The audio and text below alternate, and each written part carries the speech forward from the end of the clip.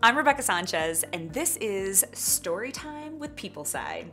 Today, I'm going to be reading Mindful Mantras. I can handle it. Written by Laurie Wright and illustrated by Anna Santos. I just, I like the cover of this. Happy little kid. Happy little kid. All right.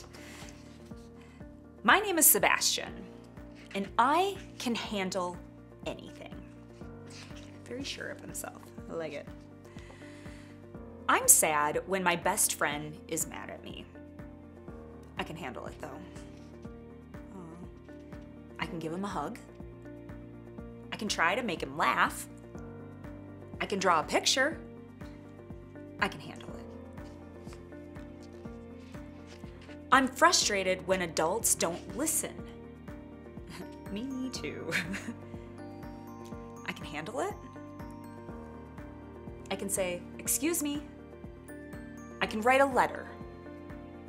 I can tell someone else. I can handle it. I'm mad when my sister won't stop bugging me, but I think I can handle it. I can ask her to stop. I can move away from her. I can make it a joke and laugh. I can handle it. I'm annoyed when I can't find my shoe. Can I handle it? I can send out a search party. I can take out an ad in the paper. I guess I can wear another pair. I can handle it. I'm disappointed when I want a pet, but I'm not allowed to have one. Oh my gosh, I was so there as a child. I can handle this one, I think. I can pretend my sister is a pet. I can make one. I can play with my friend's pet in exchange for him playing with my sister. I can handle it.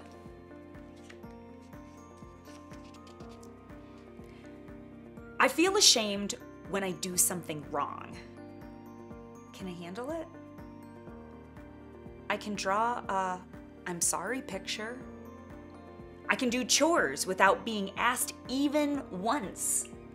I can go to my room and stay there until I'm 80. I can handle it. I'm upset when the pool is closed, but I can handle it. I can find a giant puddle to swim in. I can swim in the tub. I can save up my money to buy my own pool. I can handle it. I like this kid's attitude. I feel discouraged when my words don't come out right. But can I handle it? Hmm. I can ask a friend to help me. I can draw a picture instead of explaining. I can sleep on it and come up with the right thing to say. I can handle it. Oh, look at his face. I like that face. Like, mm, I can handle it. oh, look at that face. I'm cranky when I'm not allowed to watch TV. I can handle it, though. I can make my own TV and watch that. I can act out my favorite TV show I can put on a puppet show for others to watch. I can handle it. I feel bored when I'm stuck at home. I'm not sure how to handle it. I feel like a lot of us understood that one. I feel bored when I'm stuck at home. I'm not sure how to handle it. I can make new slime recipes.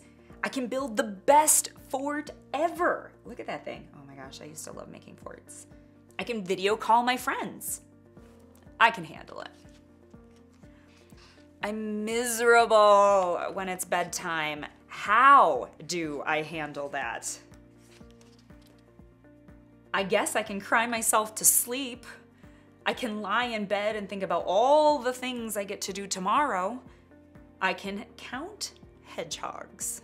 Not sheep, but hedgehogs. I can handle it.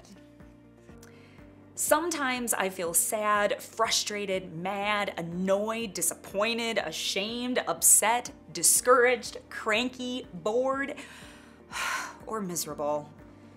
But I can handle it. I can handle anything. I like how in this book it even has a place where you can put your name and then says, and I can handle anything. I Can Handle It, written by Laurie Wright and illustrated by Anna Santos. Oh. so on the back of this book, it says, Can Sebastian handle his problems? So insert your own name there. Can Rebecca handle her problems? Of course she can, with the help of a mindful mantra. So, as it relates to Sebastian, it says he can try something silly or he could try something funny. Chances are, whatever his problems may be, he can handle it.